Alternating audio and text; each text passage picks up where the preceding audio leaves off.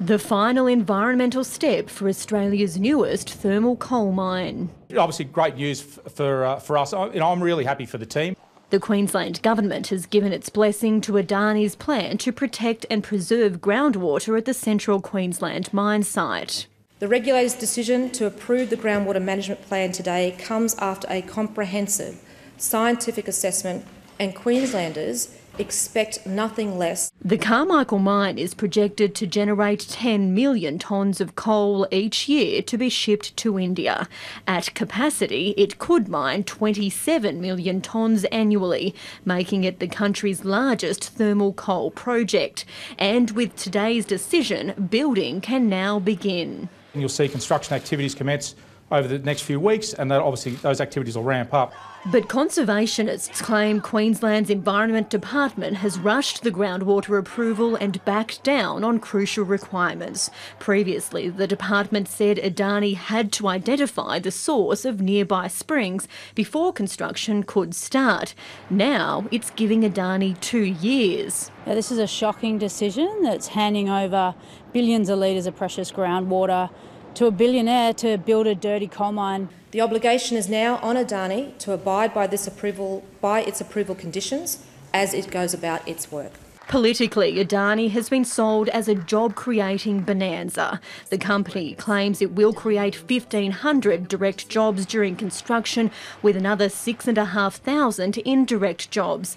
But the employment figures are strongly contested by the mine's opponents. This just goes to show that the politicians have completely sold out to their coal mining donors and they have betrayed Queenslanders with this decision today. But in the heart of coal country, struggling locals are excited. They bring more money into the areas which this place needs at the moment. For us as local business owners, anyone, anything that brings people to town is certainly going to benefit our local economy. The mine's approval is likely to set a precedent for opening up the previously untouched Galilee Basin.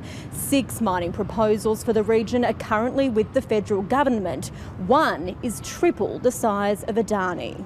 The Indian mining giant still needs permits to remove coal from the ground. That's not expected for another two years. Allyson Horn, ABC News, Brisbane. Well, it's a decision many in central Queensland have been eagerly awaiting. Let's go live now to Rachel McGee in Clermont. Rachel, what's been the reaction there? Well, Matt, the pub is filling up and the beer is certainly flowing tonight here in Clermont. Last time the Adani was in the spotlight here, the anti-Adani convoy was driving through town and the feeling in the community was very hostile. Today, it was a much happier scene with many locals celebrating what they say is a win for jobs in the region. Tonight, people are saying they're relieved to know Adani will go ahead after more than nine years of uncertainty. It's expected Adani will pave the way for more mines to open in the Galilee Basin, which is more than welcome news here tonight. Clermont is celebrating. Yes. The go ahead for Adani is the news the mining community has been waiting for. The town needs it. It's, um, everyone's passionate about it. It'd be great for the community. Some are still angry about the Stop Adani convoy, which rolled into town in April. Oh my word, it's a relief for everybody in town here. It's all over. We won't have the Bob Browns back. The way that all the greenies come through and they just look like idiots coming into a town like this. That's a really strong mining town. The convoy leader says the fight to stop the Carmichael mine isn't over yet. We've got uh, environmental groups and community groups, uh, Indigenous people, of course, at the foremost, right across this country who are now working out how to continue this campaign. The movement's just going to get bigger and stronger, and we're going to continue that fight to look after our future. But after years of uncertainty and high unemployment, many in regional communities are hoping the next mining boom has arrived. Everyone knows where the goalposts are now. They've got their approvals. Now we want to see some action on the ground. The Carmichael mine kicking off means that the Galilee Basin can now open up. Townsville and Rockhampton will be the fly in, fly out hubs for mine workers.